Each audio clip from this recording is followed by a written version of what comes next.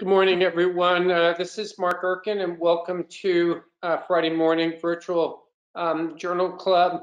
I believe this is our last journal club for 2020 um, uh, in light of the holidays coming up here. So want to thank all of you for joining us and also a very special thanks to uh, Lilly Oncology for generously sponsoring um, this uh, program. Uh, this is really a truly international um, journal club this morning with two of our presenters um, uh, logging in from Western Canada and Dr. Dana Hartl, who has been a, a part of this uh, program in the past, is um, uh, live from Paris. So it's a pleasure to have all of them be a part of this and uh, really welcome their contributions. So this is um, very quickly, uh, Dr. Janice Pasieka is an international leader in endocrine surgery. Um, she is at the Tom Baker Clinic Center, uh, where she has been a driving force behind the development of a multidisciplinary clinic for neuroendocrine tumors, um, as well as heading up a multidisciplinary hereditary endocrine clinic. She's responsible for developing the only Canadian American Association of Endocrine Surgery Accredited Fellowship uh, program. And she has been extremely active in that um, organization where in 2010 she became the first Canadian and only the second woman to serve as the president. Uh, she's uh, served on the Council of International Association of Endocrine Surgeons um, and in 2016 became the Secretary Treasurer, uh, which she currently um, holds that position. Um, of note is that in 2007, um, she was um, the Women's Executive Network um, recipient of one of Canada's 100 um, most powerful women. Um, she has recently completed her six-year term as governor of the American College of Surgeons. Having written over 140 peer-reviewed publications, she's also edited three endocrine surgical textbooks and written over 24 book chapters. Um, so I want a, a special thanks uh, to her. Um, and our discussant this morning is Dr. Jeff Harris, who started his career. This is one of um, the second um, uh, individuals who has joined us on Journal Club to have started off in pharmacology and then migrated over to otolaryngology, head and neck surgery.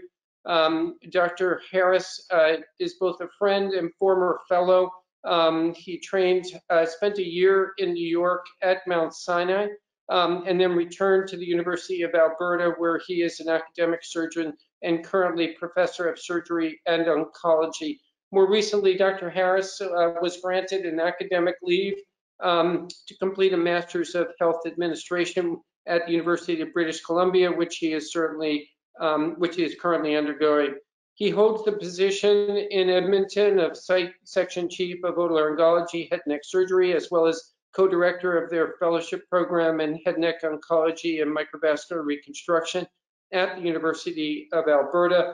Um, he is the immediate past director of the um, uh, AHS Provincial Head and Neck Tumor Group um, and has held a number of national um, uh, positions. He has over 100 peer-reviewed uh, publications and has co-authored a textbook on head and neck reconstruction. Um, he's been widely recognized for his expertise in this field. And then finally, um, I want to thank uh, Dana, Dr. Dana Hartl, who is coming to us from Paris. Um, she is internationally renowned for her work um, as a head, and neck, and thyroid specialist. Uh, she is a full-time head and neck surgeon at Gustave Roussy and um, chief of the thyroid surgery unit. She has extensive expertise in treating um, advanced and recurrent thyroid cancer and is a principal investigator in a clinical trial in thyroid surgery evaluating the role of prophylactic neck dissection.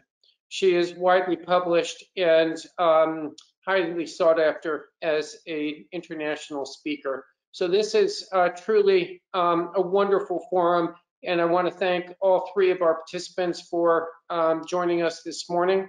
And um, I'm going to, with that, pass this over to Dr. Pasieka. Okay.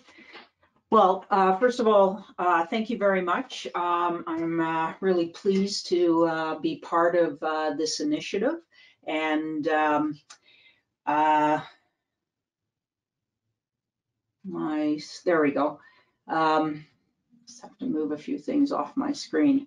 Um, I've been asked to uh, talk about uh, a paper that we recently uh, published on the identification of intraoperative risk factors can reduce but not exclude the need for completion thyroidectomy in low risk papillary thyroid cancer.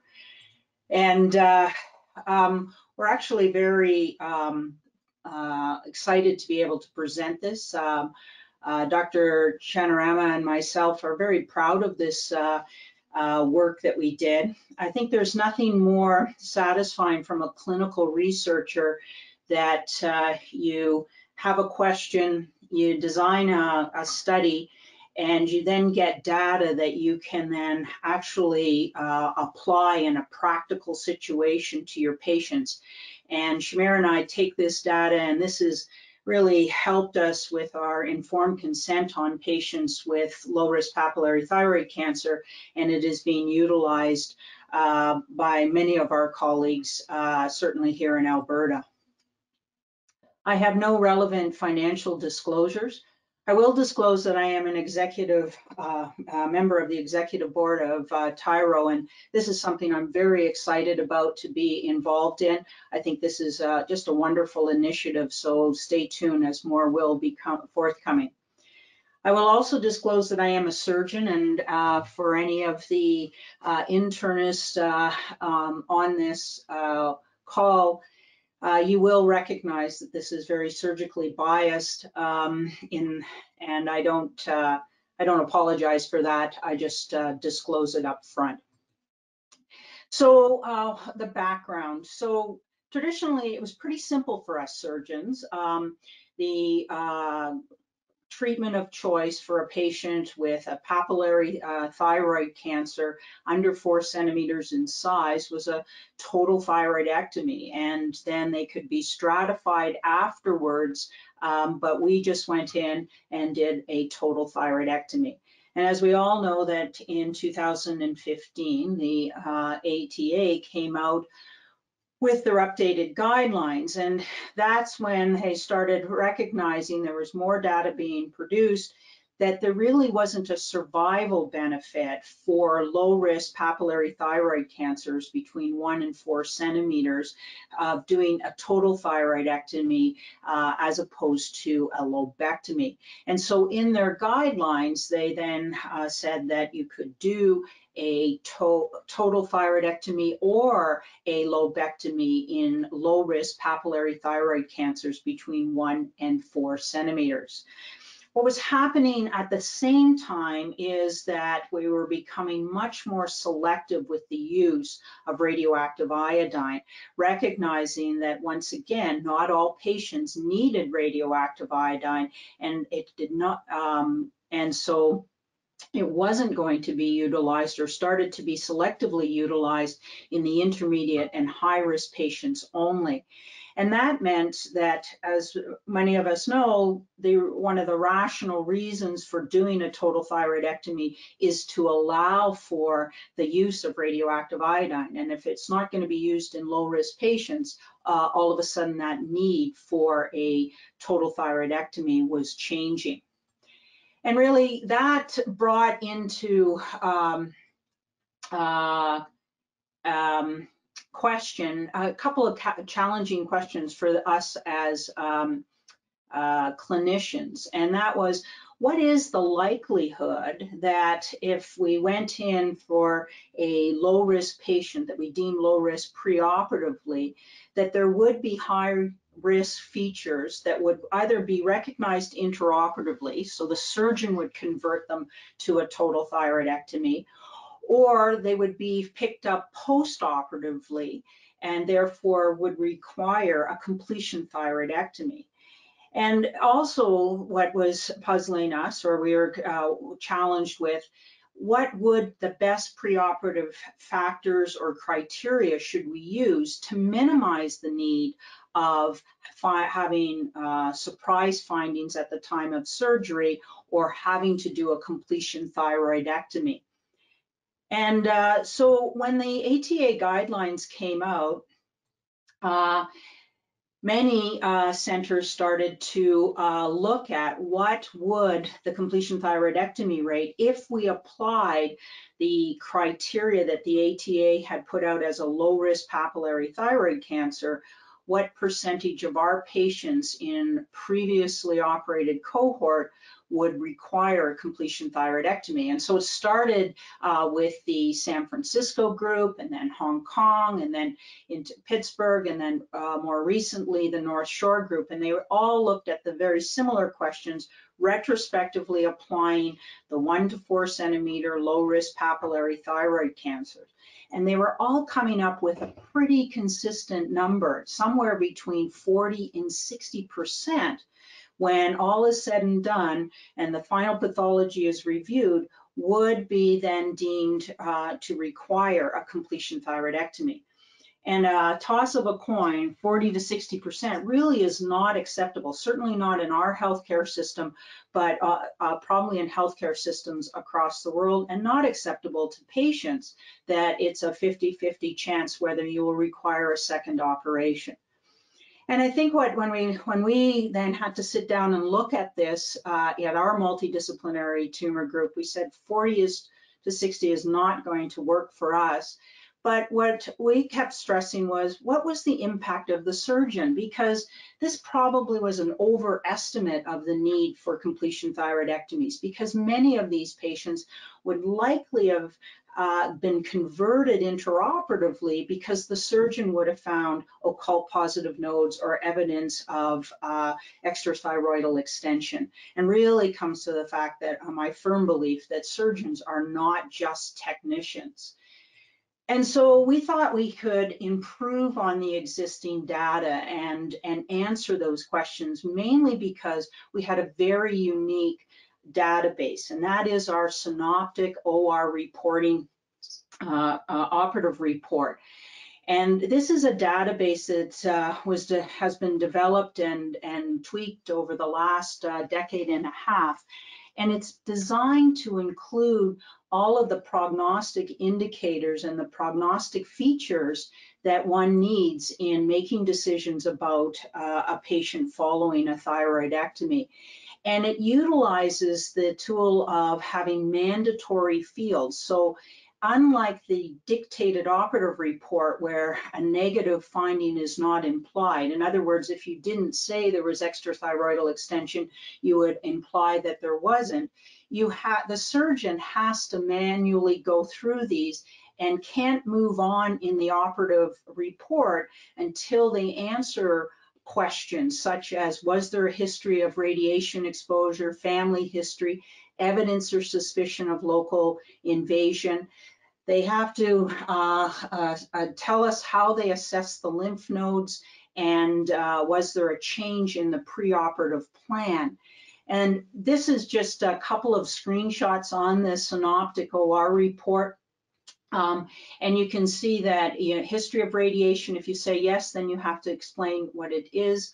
Um, family history, is there a planned operation? Was it the same? If not, why? What was the difference? And then when it comes to the actual surgery itself, um, these little asterisks means that this is a mandatory field, so the surgeon then has to say, was there invasion into the strap muscle or not? Was there invasion in the trachea?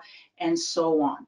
And so we thought with that, we had a unique opportunity and uh, set about our uh, study with two objectives. One, what was the prevalence of intraoperative high-risk features that the surgeon was uh, uh, finding at the time of surgery, and how much would that really reduce um, the need for completion thyroidectomy?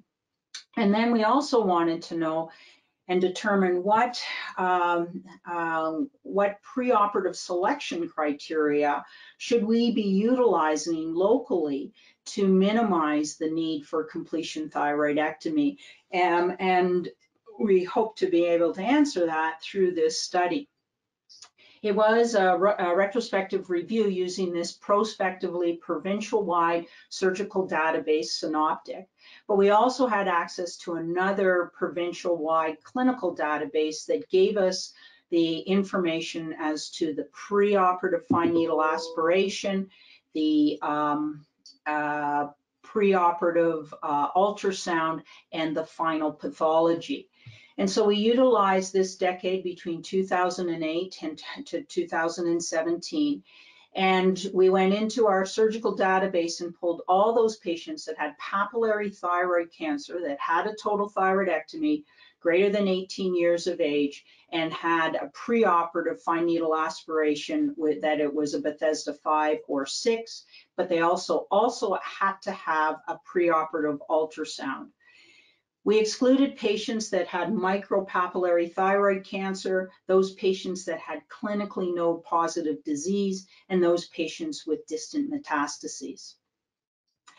So we then um, had our cohort of patients uh, that we that we got, and then we applied the eligibility for lobectomy. So once again, from the fine needle aspiration, it had to be suspicious or proven papillary thyroid cancer.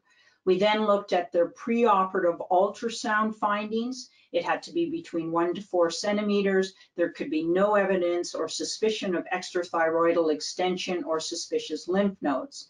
And then we would use the synoptic OR report to make sure that we ruled out those patients that had a previous history of radiation and had no family history. Once we then had that cohort, we then applied what were the features that would have had the surgeon convert to a total thyroidectomy at the time of surgery for this low risk papillary group. And that's where we could use the mandatory fields of extrathyroidal extension, the discovery of positive lymph nodes, and again, mandatory fields about how you utilized uh, frozen section. Then we would look at the the, co, the, re, the remaining cohort and looked at the postoperative features. These were based on the pathology reports, and we looked to see if there was any evidence of extrathyroidal extension, positive lymph nodes, vascular invasion, positive margins greater than four centimeters, and any of the patients with the aggressive histology. We used uh, Stata, uh, Stata version 15.1, and it was approved by our uh, provincial ethics committee.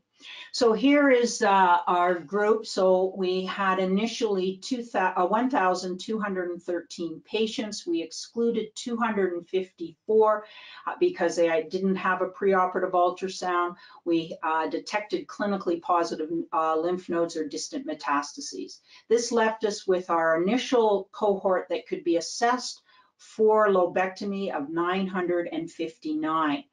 250 of these were then excluded based on the size of the lesion, suspicious of extrathyroidal extension or lymph nodes on ultrasound. We also excluded those that had atypical lesions on the contralateral side, as most of us would still do a total thyroidectomy in that group, and the history of radiation and family history.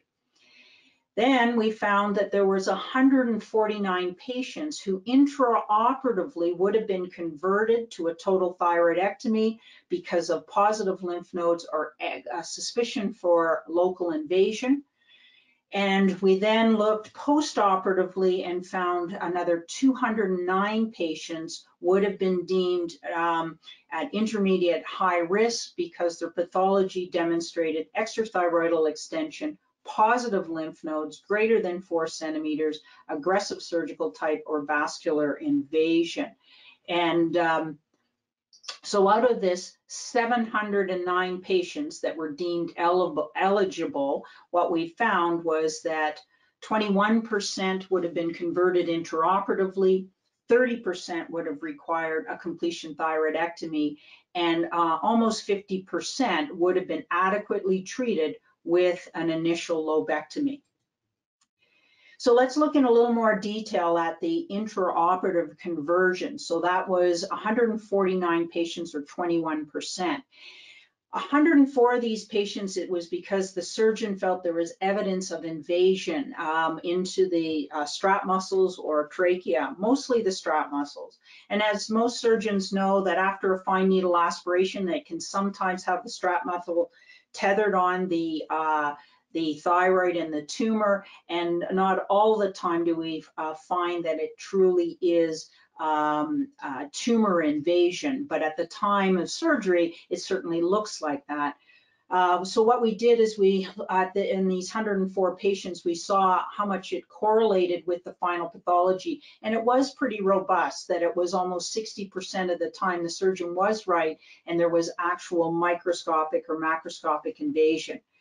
45 of the patients, that was the discovery of occult positive lymph nodes, and this correlated well with the final pathology.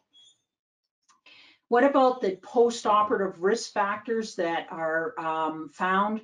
Uh, again, 30% um, needed um, a completion thyroidectomy at 209 patients. And you can see that uh, in the majority of them, 69%, it was just one risk factor.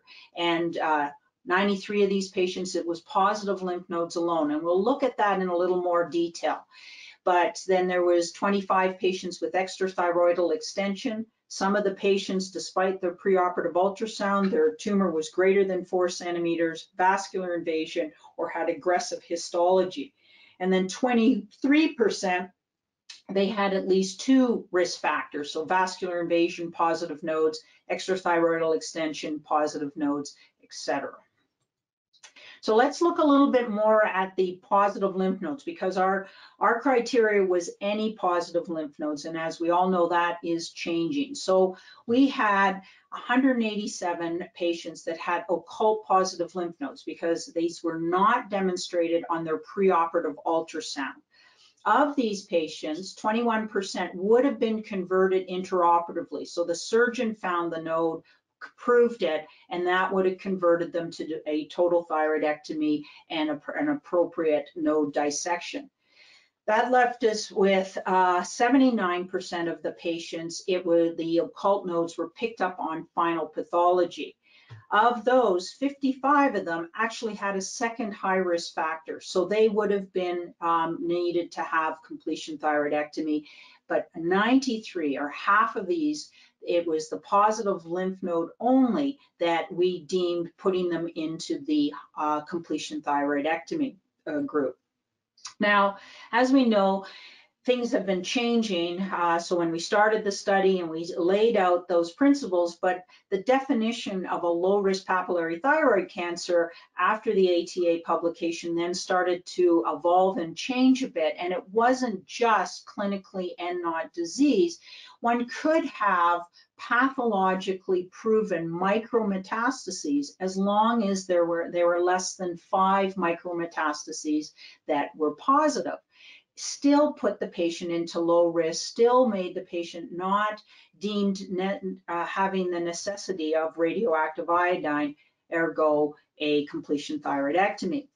Now, for the surgeons, we all know that in order to get a robust enough uh, nodal dissection of at least five or more lymph nodes, you pretty well have to do an, at least an ipsilateral central lymph node compartment dissection to be able to have five lymph nodes that are captured.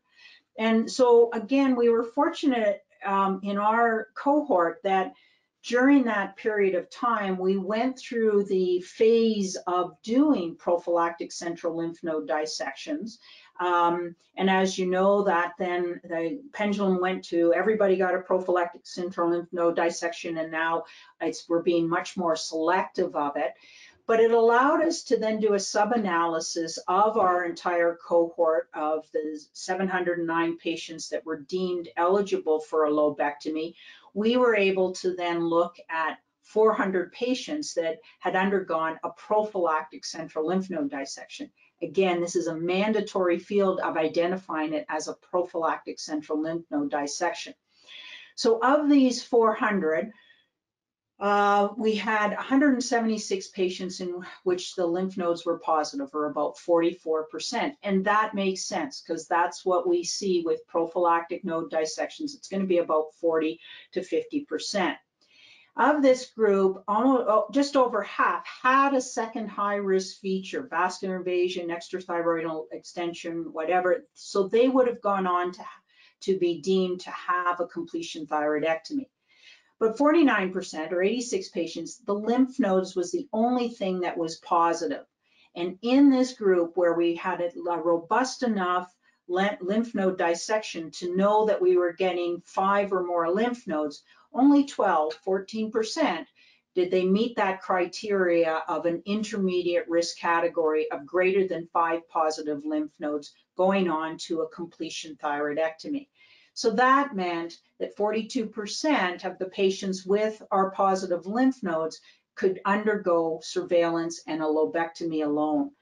But it does mean that 26% of all the patients that ended up with a prophylactic central lymph node dissection would have needed, um, would have fallen into the criteria of being intermediate to high risk. Well, what about our other objective in looking at what are the preoperative criteria that we should use to then decide um, which patients are truly low risk? And when we sat down with our tumor, multidisciplinary tumor board, none of us were really comfortable with the 3.9 centimeter lesion in the elderly patient. And in, so in Calgary, we then sort of said, well, would we be comfortable with lesions under three centimeters, those uh, younger patients at 50? And so we developed our own sort of criteria initially um, in which we were looking at the younger patients. And what that meant, less patients, so only 25% of our whole cohort would have been eligible based on this criteria.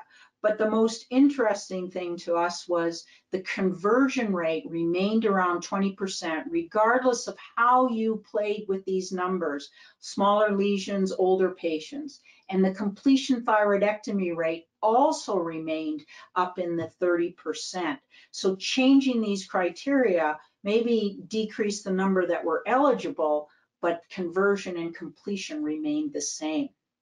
There were some other interesting results that the mean pathology was uh, was 1.9, uh, 1.87, which is slightly lower than um, what we had on our ultrasound, which we all know does happen uh, with uh, permanent fixation. 90 patients then ended up having a lesion that would be deemed a micropapillary. Um, so they would have uh, been able to have a lobectomy, but 23% had another high risk feature and eight patients ultimately had benign pathology uh, in the end, despite having fine needle aspirations that were Bethesda 5 and 6. Now, there are several limitations to this study, and the first of it being a retrospective analysis, we and all of the issues that we know um, are developed because of that type of analysis. The other major limitation is that the pathology reporting in our province, in our cities, changed and evolved during this whole study period. Initially, we weren't getting the details that we now demand of our pathologists about the size, the number of the uh, lymph nodes, whether there's extra nodal extension, um, and the degree of extrathyroidal extension, whether it's microscopic or gross. And so we were dealing with a cadre across a province of different types of pathology reporting. The other limitation is the definition of our high risk features um, really are dynamic and the degree of extrathyroidal extension, the degree of lymph nodes are we're changing and continue to change. And so I really do believe that um, our raw data here probably is overestimating the true need for completion thyroidectomy. And finally, because it was retrospective and using databases, it did not take into account for the patient's preference or other issues that would have negated a lobectomy at the initial operation. Again, probably overestimating the number that require a second operation. And this is just to remind us that we looked at any form of extrathyroidal extension, any positive lymph nodes, any type of vascular invasion to put them into the category of completion thyroidectomy. And we now look at those a little bit more closely when we risk stratify. But I would say there is some strengths in this study and why it then added to the literature and that it really is based on the uniqueness of our synoptic OR database. This is entered by the surgeons at the time of the operation, and the mandatory fields really were able to uh, for us to provide what is the intraoperative assessment, how much uh, the role the surgeon plays in making the decisions for the patient uh, intraoperatively. I also think it, the strength is that this is from a diverse surgical series. So this is across the province of Alberta. So these are both high-risk uh, thyroid surgeons at academic centers to community uh, surgeons doing thyroidectomies. So it really was a reflection of what is happening in our province um, and kind of real world look. So in summary, um, the, we were able to look at what was the prevalence of high risk operative feature, intraoperative features, and how much did the surgeon reduce the impact or need for completion thyroidectomy, and that was 21%. And we, when we looked, to, could we determine whether varying the preoperative selection criteria for lobectomy could reduce the need of completion thyroidectomy? The short answer is no, we couldn't.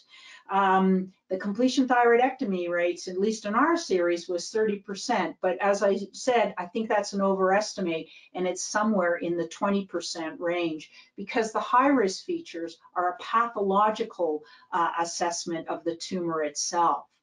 So in conclusion, despite careful preoperative assessment of low risk papillary thyroid cancers, these patients need to be informed that 21% chance of intraoperative conversion to a total thyroidectomy at the time of surgery.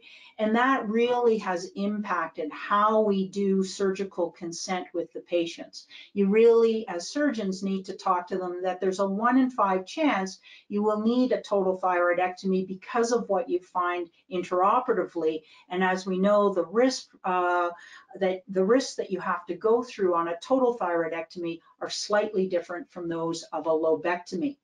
And that we, we concluded that up to 30%, but I said that's probably overestimating it, would still require a completion thyroidectomy, uh, even when all is said and done, because of the high risk features. So with that, I hope you've enjoyed the um, red and green uh, slides. I changed them just for the holiday season. I wish to hope everybody a safe, peaceful holiday in these surreal times and I will stop there and turn it over to my discussant, uh, Dr. Jeff Harris. Thank you. Uh, good morning, and uh, thanks for that great talk. Uh, thanks to the THANC Foundation, Dr. Urken, for the invitation to be an expert discussant here. So as mentioned, I'm Jeff Harris. Um, let's pass. Oh, there we go. I have no disclosures when I got the invitation to do this, it was described as an expert discussant role, which um, that's a new title. Uh, so I look for some guidance as to uh, what to do with this. The nice thing is it's relatively uh, open in terms of the presentation. So I thought I'd do two things. One is this is a journal club, so I thought I'd do what we do in all our journal clubs and in our academic centers, which is do a bit of a critical analysis of the paper that was just presented. The unique thing here, which I think is wonderful, is that as opposed to when we do this in a in a boardroom in the hospital. Uh, we actually have the senior author of the paper that we're discussing here to, to comment as well, so that's great. Uh, and then I thought I'd just um, go on to maybe prompt and maybe be a little provocative in terms of developing a discussion and talk about what is really what I feel is the core feature of this paper, which is this uh, sort of change in practice from going uh, to from total thyroidectomy to offering lobectomy for certain patients for thyroid cancer. So here's the paper we just discussed. Uh, for me, and sorry, I have to just move a little bit of stuff over my screen here. Um, this really was the key line that um, Dr. Pasieka just went through as well uh, in terms of the summary. So for low risk uh, papillary cancer patients deemed eligible for lobectomy, they should be informed at the time of consent that despite diligent preoperative intraoperative assessment, there's a risk requiring chemotherapy that may be as high as 30%. In addition, surgeons, endocrinologists, and patients should be aware that in 20% of patients deemed eligible for lobectomy, preoperatively an intraoperative high risk factor will be identified resulting in conversion to total thyroidectomy if deemed safe. So just, um, again, doing sort of standard journal club stuff, going through the section by section. Study design, uh, I described this as a what if study. I think it was a really interesting study design. So basically the, the model was what if we assessed and treated a historical cohort of patients who all actually in their real treatment underwent a total thyroidectomy uh, and fairly strictly applied ATA guidelines to that population, what would that look like? Um, in terms of patient selection, so all patients had a total thyroidectomy done. Uh, patients were identified in the database includes some, but not, not all the surgeons in the province. And as mentioned, which I think is, I agree is a strength, is that this is a highly variable group of surgeons in terms of training experience and treatment philosophy for these cancers. Uh, the one question that brings up though is patient selection. Um, so all patients as their real treatment had a total thyroidectomy. Does that potentially add to a selection bias for the paper in terms of the, the patients that um, were put through this theoretical model. Uh, there were certainly surgeons around that time, and especially 2015 to 17, who would offer uh, hemithyroidectomy or lobectomy for lower thyroid cancers. Um, and those patients were included in this study. So there's this potential, I'm not saying it's for sure, but a potential that it might skew the data towards this particular patient population actually needing a total thyroidectomy as their treatment. Um, and that always brings up generalizability questions. So uh, if you look at this, um, there was, uh, you know, 50% required completion. Uh, this study from um, the, uh, Sloan Kettering group uh, showed, and this is one of the supporting papers the American Thyroid Association guidelines, showed that in their study actually 5% um, uh, of patients treated with lobectomy had immediate completion thyroidectomy, and their immediate was sometime in the in the near post-operative uh, time uh, based on results of surgical pathology. So there's a bit of a discrepancy there. In terms of um, the methods, so it, this was discussed about, and I'd just like to bring a couple of points here. So in this cohort that was identified, they recognized that 74% of the patients in this, what we may be a potentially higher risk cohort, uh, were theoretically suitable for lobectomy under the current guidelines. So 75% eligible for hemithyroidectomy is, um, it, it, at least in our practices and in maybe some of the uh, literature out there, is a little bit high for uh, how many patients should be offering hemithyroidectomy uh, to. Uh, if you compare with a couple other papers, there is, and I'd like to, and I get to spend a couple slides on this um, topic, is contralateral thyroid nodules. So um, again, the article from Sloan, uh, increased detection of contralateral nodules uh, over their time frame of this study when it was uh, published, they found that actually 75% of their patients towards the end of that study because of contralateral nodules ended up undergoing total thyroidectomy. Um, and uh, Ritter, uh, another population, they showed a relatively high incidence of contralateral thyroid nodules as well just as a background from our zone um, in Alberta, so you'll see what, uh, so this is the data collected from our database, um, that uh, roughly around 20% of patients uh, were actually treated with lobectomy for thyroid cancer as opposed to about, um, you know, roughly 75 to 80% who had total thyroidectomy. So with that, just a little talk about contralateral thyroid nodules. So the management may be a little bit controversial.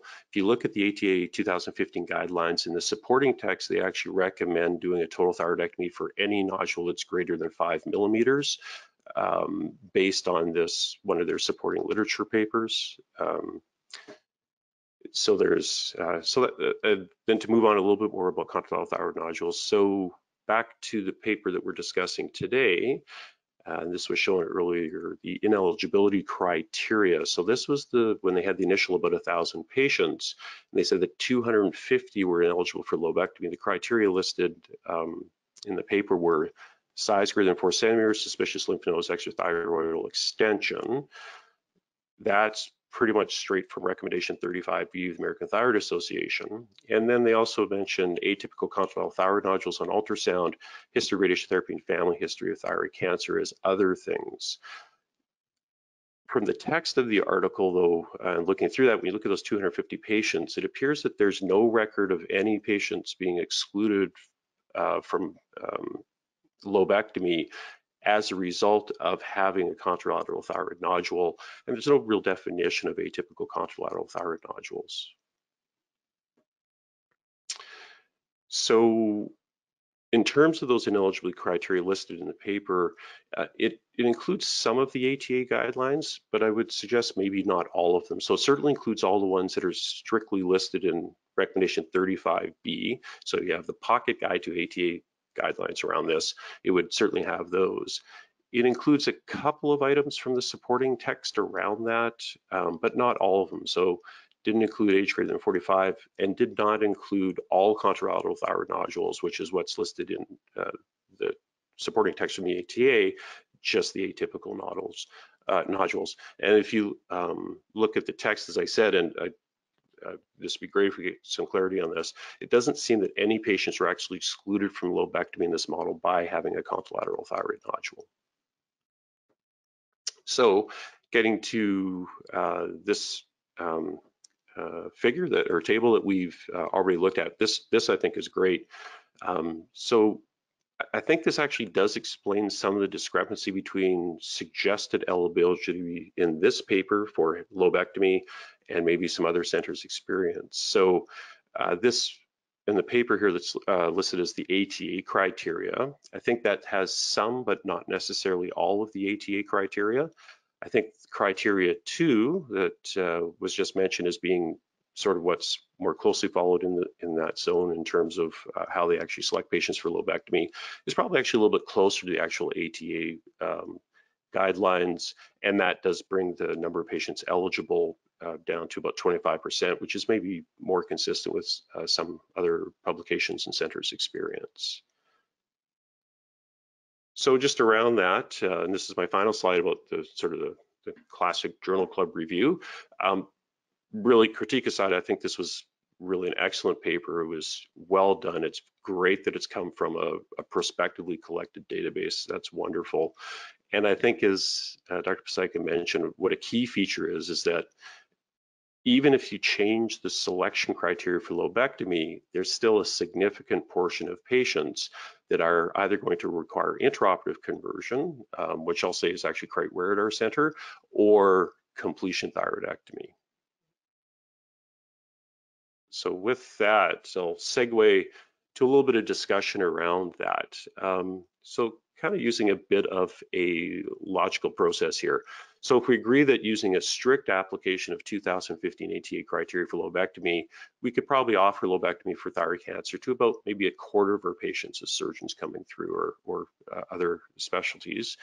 Um, and of that 25%, if we agree that about 50% are going to likely require conversion to a total thyroidectomy, either intraoperatively, postoperatively, um, then really should we be routinely offering this option to all of our patients? So there's the question I'd like to, to pose. Uh, we touched on this briefly earlier, so I described this as the good old days in thyroid surgery, 2009 ATA guidelines. Uh, we, in this image here, we've got a happy patient, we've got a happy physician. Uh, decisions are quite easy, easy at this point. So patient came in, you had a greater than one centimeter thyroid cancer, you're gonna get a total thyroidectomy. There might be some question about uh, the extent of, first of all, would you do a central compartment neck dissection? And if so, the extent of that. And those are really the controversies at the time. And then 2015 ATA guidelines came up. I was uh, fortunate to have a bit of an early preview of these um, uh, I was asked to review them and endorse them for the Canadian Society of Otolaryngology Head and Neck Surgery uh, uh, for when this paper came out. And when we looked through them and started doing the review process, this is the one that really leapt out as surgeons was recommendation 35B. And as we've gone through before, so this really uh, changed. Um, and just to go through it, so basically the, what they're saying is greater than one, less than four centimeter without risk features that now the statement was that instead of what used to be total thyroidectomy is that the initial surgical procedure could be either a bilateral procedure or a unilateral procedure. Thyroid lobectomy alone may be sufficient initial treatment for low risk papillary and follicular carcinomas. So that was a significant change. I think the way that was put out in the language around that is a, a lot of people I think interpreted that as well, you could do either procedure, but you're saying that it's sufficient treatment to do a lobectomy, so we should probably be steering towards lobectomy. And I think a lot of people, including myself, uh, started changing their practice as a result of that. I will say in, that it's a bit of an incomplete recommendation in terms of how it's phrased in that specific recommendation line. So if you go back into the um, the supporting text around this, it does fail to include the suggestions in that supporting text, which is you should really be looking quite seriously at patients over 45, congenital thyroid nodules, radiation therapy, and family history in making that decision to provide lobectomy. So again, if you have the pocket cards on this, if it's on your app on your phone, it only has the recommendations. It doesn't include that information. And I will say the one thing about this recommendation, that's when it came out, is it does really has increased the complexity of decision making and also patient counseling that's required. If you again go back to those ATA guidelines and look in the in the fine text around that, well, it's interesting. So survival rates, they conclude, and I would agree with this, that the extent of initial thyroid surgery probably doesn't have a great deal of impact on disease-specific survival in this type of cancer. But if you want to get the lowest recurrence rates, there's probably is actually a benefit to total thyroidectomy in those circumstances. And again, controversial, but the, I would suggest that the bulk of the evidence does lean towards that way. So the question then becomes, well, if total thyroidectomy offers an equivalent cure and a lower chance of recurrence, why would we even offer a lobectomy? Well, of course, there's pros and cons to both of these surgeries. So total thyroid is a single procedure, provides an excellent cure rate, maybe less recurrence. There is a requirement for thyroid hormone after the surgery. It may be uh, increased morbidity in some regard, uh, and then quality of life is a question as well. Whereas if you look at lobectomy, uh, as we said, there's a significant chance there might require a second surgery. It does provide excellent cure rates. Um, there probably is a little increase in recurrence rates, and I think that is really important from a patient perspective the no thyroid hormone, I think, is uh, something we need to talk about. I've got a slide on that in a second, lower morbidity and quality of life. So we'll talk about those last three items just a little bit more here. So thyroid replacement after lobectomy. So I think of when these guidelines first came out, um, there was discussions in offices with patients that, you know, if we do a lobectomy, there's a reasonable chance that you won't need thyroid hormone replacement fact, I think as people got more experience with this, they realized that probably wasn't that true. Uh, this is a nice paper that uh, came out from um, MUSC group uh, fairly recently and looked at this question. So they concluded that if you actually strictly follow those 2015 ATA guidelines with the requirement to keep your TSH suppressed for, well, I shouldn't say suppressed, but you want your TSH at 0.5 to 2, that actually about three quarters of your patients are going to end up being on thyroid replacement um, after the surgery. So those um, ATA requirements, I think, are um, a little under, uh, under question. Dr. Pasieka can probably comment this. I know there's a number of endocrinologists in Calgary because I sometimes send patients up there for second opinions or down there uh, who don't necessarily feel that we should actually be um, doing that thyroid uh, suppression that aggressively that the evidence around that isn't strong. So it's kind of practice dependent, but again, strictly following ATA guidelines, a lot of patients will require thyroid hormone. Morbidity, uh, so total thyroid, I, think it's reasonable to say that there's this increased risk of a number of complications. So the biggest one will be hypocalcemia. So obviously if you're doing a lobectomy, the likelihood of hypocalcemia is nil essentially. Um, and slightly higher increased risk of these other complications as well. But again, these are all rare events. It's related to surgeon training experience. Uh, this graph here is um, from, I think this is uh, Greg Randolph's work uh, where they looked at uh, surgical volume, likelihood of complications, and also the procedure, just to give you a flavor for what we're looking at, and that would be all complications. And then quality of life. So this is I think are really key here. So we've talked a lot about the theoretical aspects of benefits and, and, and real aspects of, uh, you know, benefits of reduce morbidity, other issues related to lobectomy versus total thyroidectomy. But in the long run, the patient's quality of life is probably going to be the most important differentiating factor. So this is a group out of uh, uh, University of Toronto uh, who very recently put this paper out. It's one of the few articles that's actually looked at this question of, you know, lobectomy versus total thyroidectomy, long-term quality of life. And it's quite interesting what they found. So the long-term quality of life between these two groups was really not significantly different, whether you treated with hemi or total. But in the secondary analysis, um, the worry about the recurrence appeared to be higher in individuals was treated with hemithyroidectomy. And so at least anecdotally in my experience, um, that I've noticed that as a challenge as well for patients is that if you do a kind of partial surgery at the start, um, there's always, or in, in, many patients, there's this a bit of concern about uh, that remaining thyroid lobe. So the question that I posed at the beginning of this very brief discussion, uh, should we be offering lobectomy for most low-risk thyroid cancers? And I think I've come to a stunning conclusion, which is I don't know if there is a right answer to that right now. From my perspective, I will say, and it was reflected a little bit in that uh, local data that I presented earlier in the talk. Um, so when these guidelines came out in 2015, I think there was a shift amongst uh, quite a few surgeons um, to maybe be more aggressive about offering lobectomy, going through those kind of long conversations with patients. Uh, but I will say more recently, and I've discussed this with our surgical group as well, is that based on the relatively high completion rates, the requirement for Synthroid afterwards, we've kind of maybe backed away from that a little bit. It's still part of the discussion, um, but I would say that we've gone back to offering, or after discussion, uh, uh, the patients will um, pick with us supporting that to go with the total thyroidectomy route. So I think it's maybe the pendulum swinging back a little bit. So again, thank you very much, and I uh, appreciate the, the uh, offer to come speak with you today. Thank you so much, Dr. Harris, Dr. Pasieka, for these uh, thought-provoking uh, presentations with, with practical implications, really. Um, be it from a surgical standpoint or from any of these patients that are, any of our, our colleagues who are going to be preoperatively uh, counseling these patients. One of the questions that came up on the chat was, do you have any ideas as to both of you?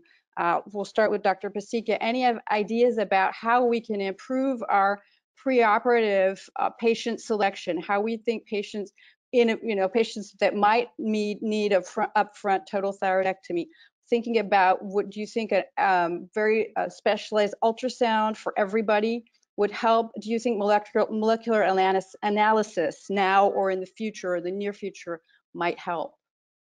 Dr. Pasieka, do you have an idea of how we can do this better to, to decrease the, yes. the number of completion thyroidectomies? Right. I mean, that is uh, uh, something that uh, we all grapple with. And I think what it, uh, First of all, it is important that all patients undergo a ultrasound, whether that's surgeon directed, whether you have a, a dedicated uh, thyroid uh, ultrasonographer, however that's done, but proper lymph node mapping and an assessment of the risk of these lesions, uh, looking at the contralateral side, making sure that there isn't any suggestion of extrathyroidal extension. And it, it really does have to be done by somebody that's really focused on trying to get those points for us. So definitely um, the preoperative ultrasound. I think um, molecular testing, this will be interesting as we can move molecular testing into the fine needle aspiration. If we can we identify the higher risk of um, lesions um, uh, based on molecular testing. Uh, certainly, we don't have that here yet um, in the sense of being 100% uh, predictive, but I think that the future is there. Um, the central compartment's hard to assess preoperatively for occult lymph nodes, so that the surgeon is still going to be one of the major factors there. And you know, I, I teach and I think it's important that as a surgeon, it is important for you to diligently look and assess that central compartment and assess the nodule and whether it's invading um, in the operating room and be prepared to uh, do a total thyroidectomy. But I agree with Dr. Harris. Um, I've lost an appetite to um, to spend uh, to uh, do lobectomies um, upfront just based on I think you may be low risk. There's a long, much longer discussion, and a lot of patients do um, have either nodes, um, nodules on the other side, uh, or they're just so anxious about cancer, it really would be um, better to just eliminate the need for a second operation. But um, we're not there yet, as the I think the data is showing.